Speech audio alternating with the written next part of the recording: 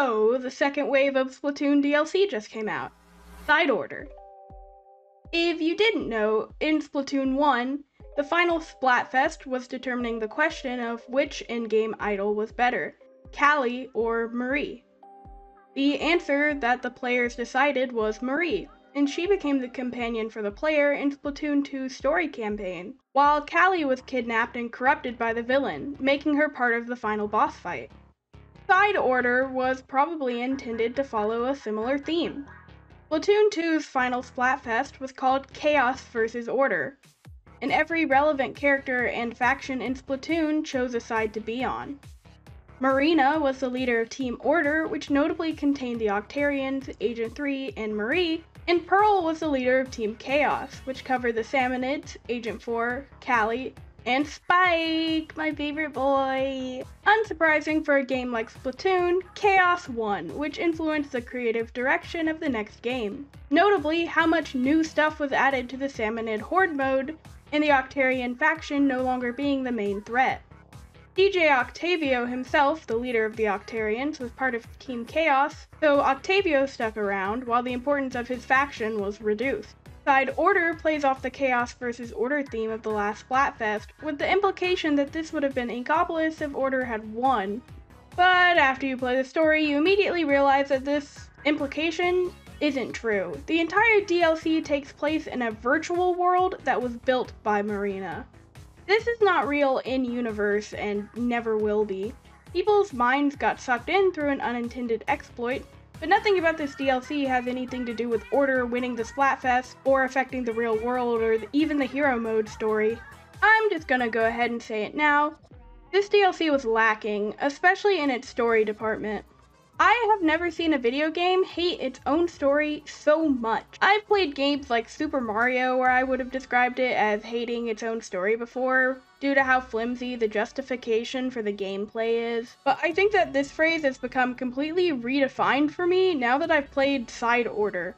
Everything that was implied in the trailer was resolved story-wise basically by the end of the tutorial.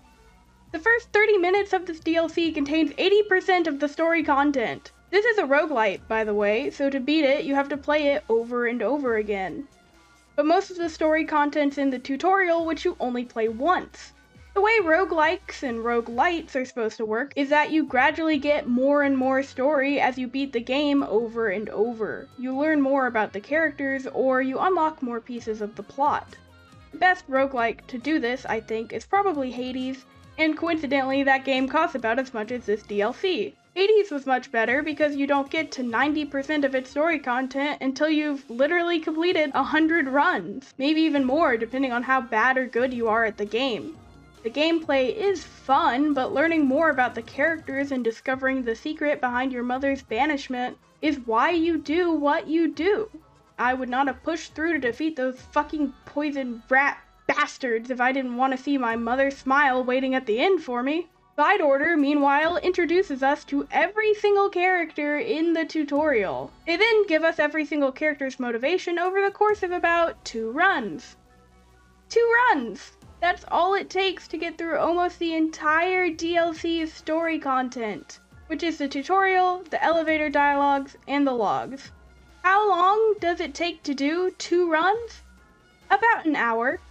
So, in total, if you go slow, there's about two hours of story content in a roguelite, which is designed to be played over and over again.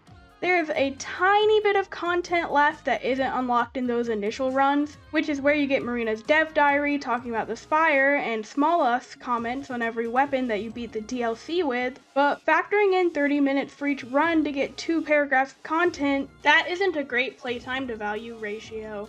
And again, you can probably get all of those within about 10 runs, maybe 20 if you fail a few times. Is the story we got even good?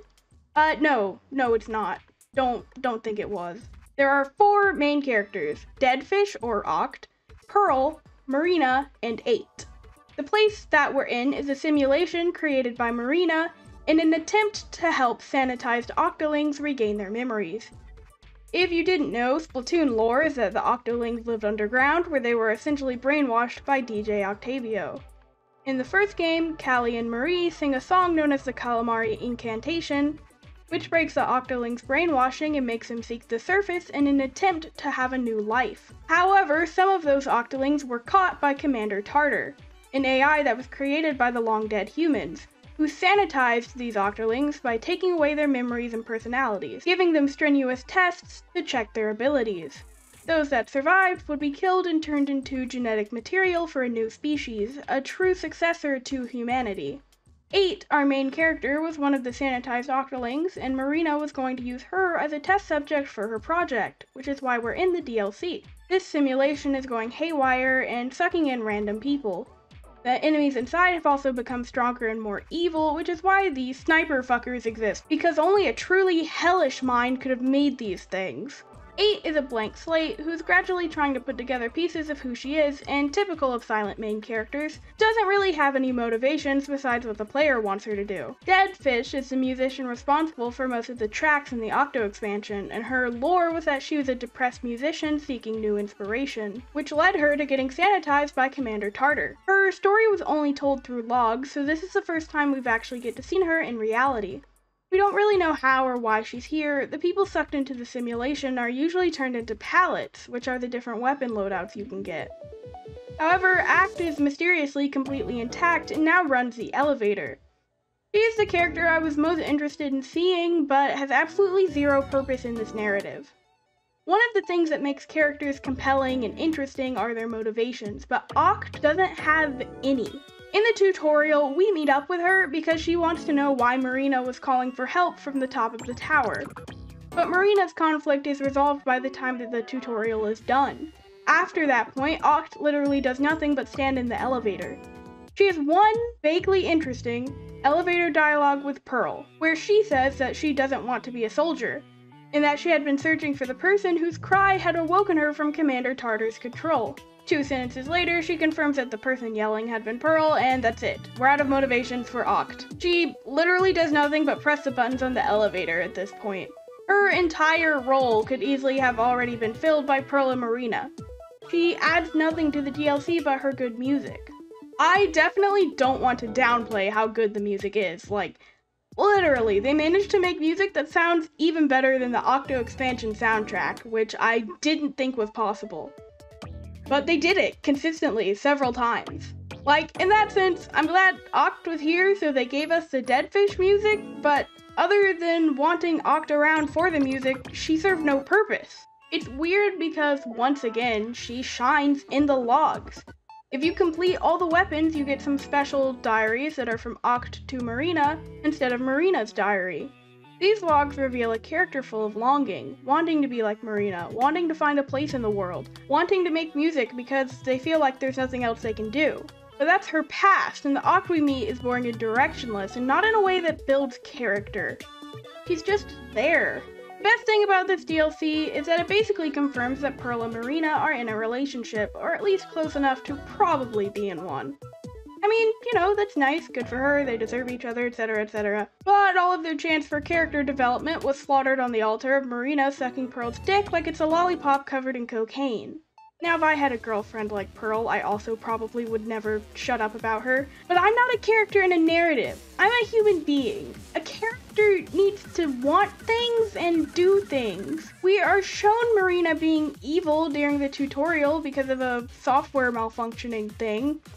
And we're told that it's probably her desire for the world to never change, stroke her fear of change that caused Order, her computer program that ran the Spire, to become evil. However, by the end of the DLC, we find out that it wasn't Marina's fault at all. Instead, some other random unnamed engineers who helped make the project fucked it all up. Okay.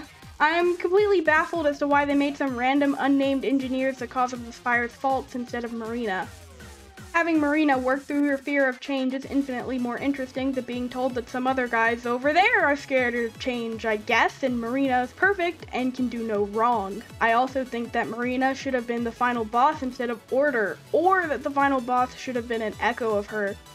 It's insane that we got this kind of design and interesting hook, but completely lost it again by the end of the tutorial. Pearl is fine here, I guess. He spends most of this DLC either using splat bombs or getting sucked off by Marina. Nothing bad to say about her, but nothing good either.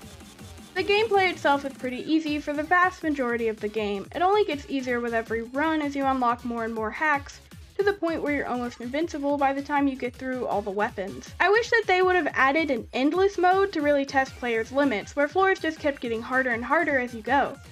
I also hope that this floor, this one right here, yeah, I hope it catches pneumonia and dies. I fucking love seahorses. They're my favorite ocean creature. And these things made me start to reconsider my love for seahorses. Fuck you, fuck you. Every level with these sprinkler guys in it makes me want to hurl too. Oh my god. No one asked. Go away. The 8 ball levels were my favorite ones in the Octo expansion, but I'm not a big fan of them here. The 8 balls were fun because they were precise, unique 3D platform challenges. These balls are more like, check if you have Luna Blaster, if no, just smack the ball a few times and kill some guys. If yes, start praying to any god that will answer. The balls are such a pain when you're using Luna. They're annoying to manipulate and can kind of randomly go in any direction. There are very few builds though where I felt like I couldn't complete the game and I finished a fight against Order within my first 5 runs. Now, I have way too much playtime in Splatoon and I'm sure that someone with less experience would probably get more of a challenge here. However, for the most part, it's just managing hordes and ink consumption. Always pick up Reefslider or Booyah Bomb instead of whatever the default special is, because I feel like those two are the best outside of niche circumstances. I had a lot of fun with Stamp too, but it's more situational. If you like Splatoon, you should get this if you want the white multiplayer cosmetics. But if you're only a casual player, this DLC is not really worth it. I'd save my money for the next Nintendo console, or pick up a great roguelike like Hades or Balatro. If you're a hardcore Splatoon fan, this DLC is an insulting slide back from the great characters we got out of the Octo expansion. But it's more game modes for that unique, liquid to solid, delicious Splatoon gameplay. I swear to god, as soon as someone makes an entire single player game experience with a deep story that copies Splatoon's liquid to solid movement mechanics, I'm gonna be putting a thousand hours into that instead of wasting my life queuing into multiplayer. Anyway, next week we'll be back on schedule with a Sunday video. Sorry about the tech issues delaying two videos, and I'll see you later.